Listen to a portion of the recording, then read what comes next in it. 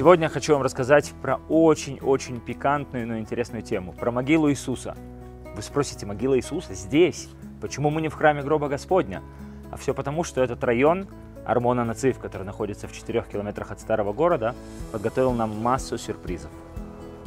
В 70-е, 80-е годы Иерусалим переживал строительный бум. И во время строительства проживавший неподалеку здесь юноша, сын экскурсовода, обнаружил эту древнюю еврейскую погребальную пещеру. Он позвал археологов, которые начали заниматься здесь раскопками. Одним из археологов, который здесь э, активно занимался этой археологической деятельностью, был Йосеф Гат, который, кстати, умер вскоре после раскопок, так и не опубликовав то, что они здесь нашли. Его вдова впоследствии говорила, что до последних своих дней он верил в то, что он нашел настоящую могилу Иисуса. На ассуариях, да, древних погребальных э, коробках, были найдены надписи. Из 10 ассуариев на 6 были древние надписи на арамейском языке. Ешуа бар Йосеф, Иисус сын Йосефа.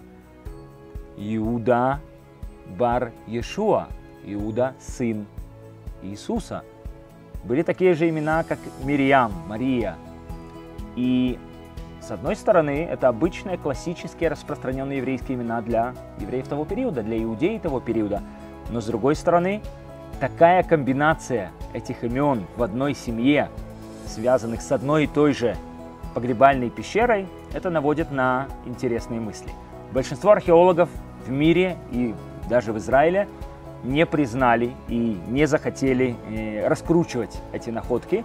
Некоторые боялись просто волны антисемитизма, которая могла подняться в мире вследствие этой находки. Но есть несколько археологов, которые до сих пор считают, что эта пещера действительно могла быть той самой пещерой. Были найдены также останки, которые по требованию религиозного лобби Израиля сразу же были перезахоронены. Где? Никто толком этого не знает. В 2007 году был снят документальный фильм Симха Якубовичем и Джеймсом Кэмероном. Симха Якубович – это канадский журналист еврейского происхождения, которого в 9 лет увезли из Израиля жить в Канаду. Он известен своими документальными фильмами про интересные археологические находки.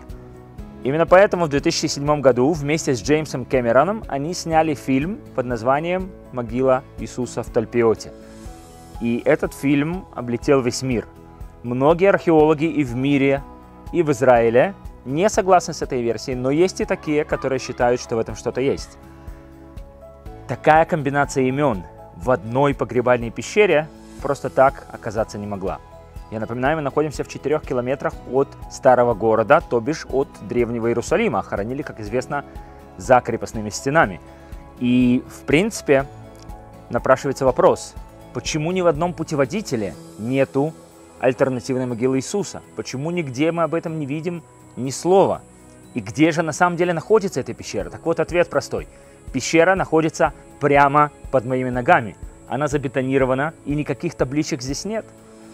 В принципе, эта находка ставит под вопрос многие постулаты христианства, потому что в могиле найдены надписи на ассуариях о том, что у Иисуса был сын, и о том, что у него была жена – принципе, те, кто боялись волны антисемитизма, после того, как это опубликовалось бы, были, могли быть правы.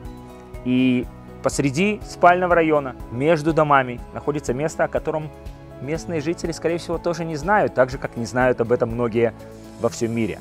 Так что приезжайте в Иерусалим, район Армона Нацив, в 150 метрах от овощной лавки Бета Пирот, прямо между домами альтернативная могила Иисуса.